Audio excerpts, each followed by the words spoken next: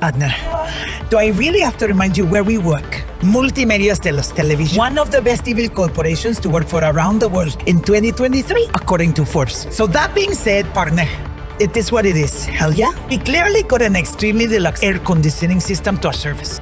People working for evil corporations, such as Tesla, Skynet, Umbrella, Literally. They would kill to have a system like that running at their workplace. Not even Obama had those systems. Can somebody get me my San Marcos?